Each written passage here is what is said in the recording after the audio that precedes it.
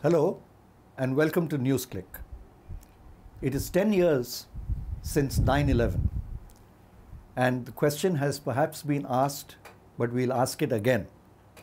Has the world indeed changed since 9 11? If so, how? And if not, in what ways? To discuss these, we have with us today Professor Aijaz Ahmad, well known commentator on international affairs. Aijaz, has the world changed? A uh, great many ways, yes. Uh, starting with the semantics. If instead of 9 11 you simply said two entire bombings, it would have a very different resonance. Let me put it this way the world has changed a great deal, not because of what that particular group of terrorists did, although they accomplished something quite unique. It is the most successful concentrated act of private terror in history. State terrorism has created that kind of, uh, you know, those number of deaths and, and so on, but this is the, first, the only time that private terror has been able to do that. And they did it in a country which has not known foreign aggression of any kind on its soil since 1812, Quite. almost 200 years. So therefore, for the American population, it really was very traumatic. Now, how do you deal with trauma? Either you accentuate that trauma and use it for your own purposes, or you start a healing process. Hmm? On the 12th morning, Condoleezza Rice, who was the, the National Security Advisor at that time, collected her team and said, How can we use these opportunities? So it became an opportunity for the United States to right. change the world. Exactly. Instead of using, treating it for what it was, which is to say a crime against humanity and a matter of international law in which all, the entire state system of the world would have cooperated with the United States in apprehending the culprits and bringing them to justice. Yes. Um, instead of doing that, they unleashed a, a, war on terror, as they called it, and uh, by the uh, 22nd of September, President George Bush described it as an endless task, a task that never ends, sure. and that it's a war that will be fought over 60, 40 or 60 countries. Um, I think one of the factors in it, I think the decisive moment is actually 1989 to 1991, that is to say, the collapse of the Soviet Union. Yeah. They now were in a position, they were sort of, you know, drunk on this fact that they had become the only right. power in the world.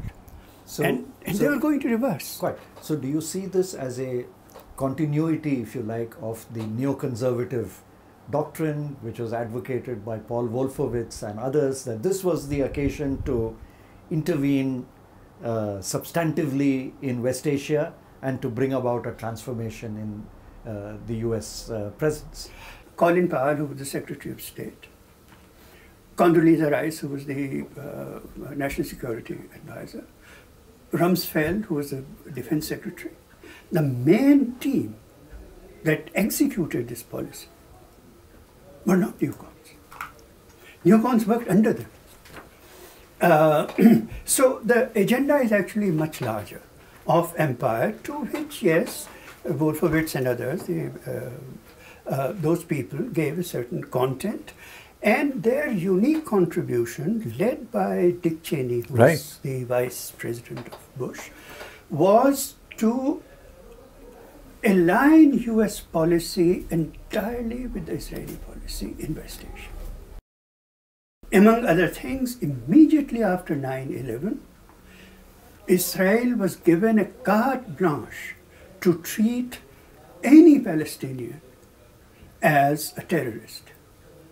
Any idea of Palestinian liberation movement as a terrorist action. They, to carry out what they call targeted killings, that is to say, political assassination of any and all leaders that they wish to assassinate sure. and so on.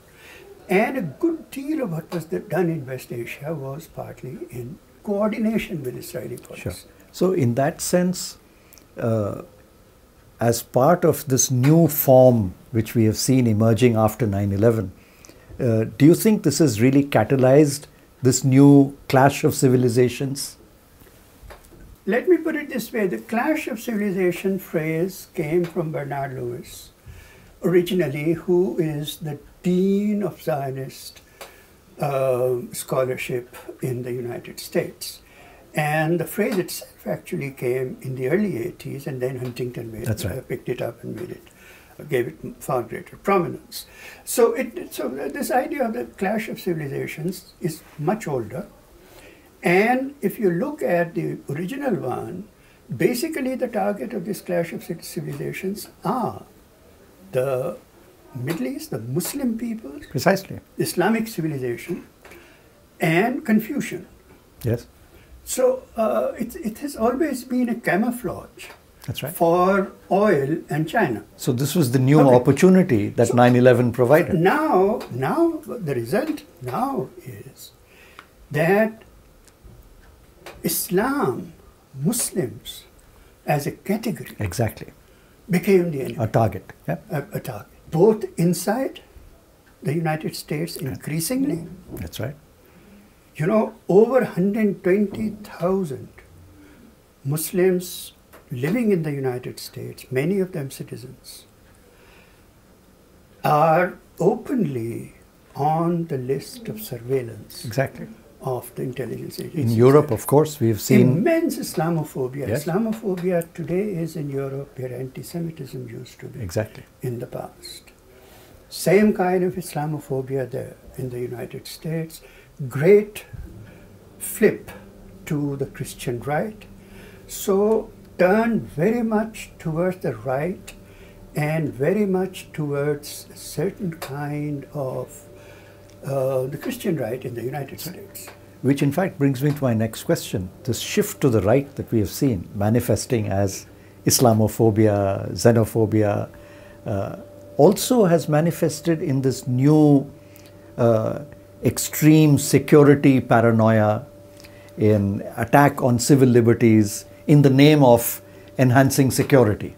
And that's been another pronounced shift to the right in the US as well as Europe and in many of our own countries uh, You see, in the South uh, as well. Raghu, I would be very wary of words like paranoia because they indicate some kind of a psychological condition or, Sure. you know, and so on. Um, I think these are very, very calculated policy decisions.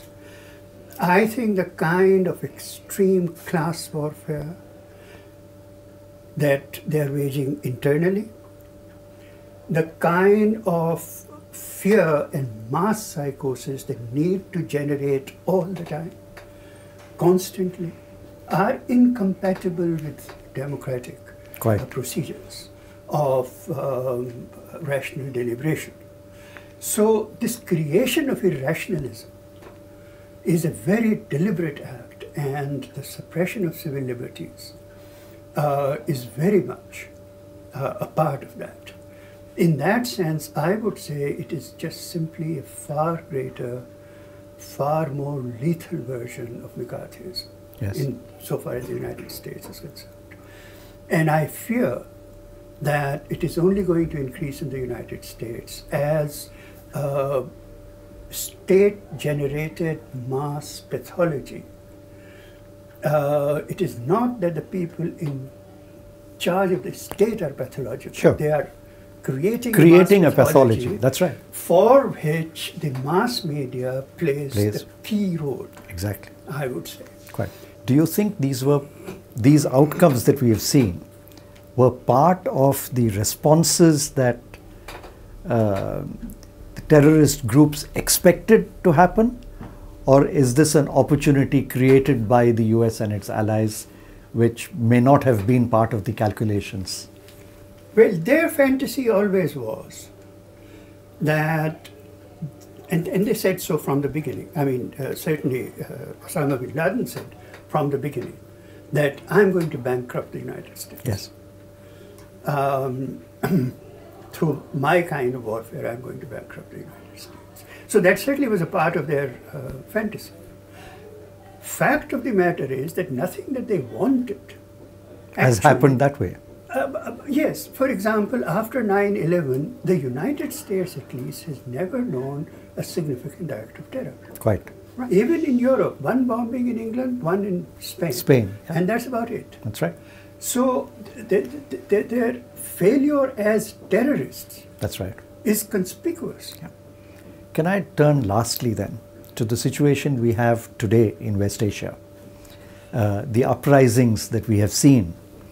Uh, if you looked at the dream of Osama bin Laden and the others, it was to turn West Asia into a cauldron of uprising against the United States and Western democracy and so on.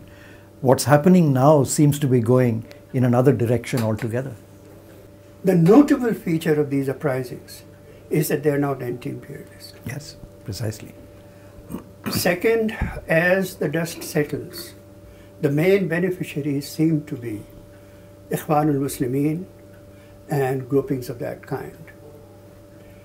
Uh, in cooperation with the Ancien regime. It is not those young people in Tahrir Square who became, you know, 15 days of fame sort of a thing. The, the beneficiaries are the, them. I think the success of uh, the jihadis, which the Americans have handed over to them, and I, I don't think Americans are really very upset about it either, is that it certainly increased the number of gun toting jihadis, certainly. And they are a headache for the United States. Sure. Although in Libya they're fighting on the fi- side of the United That's States. right. At least temporarily.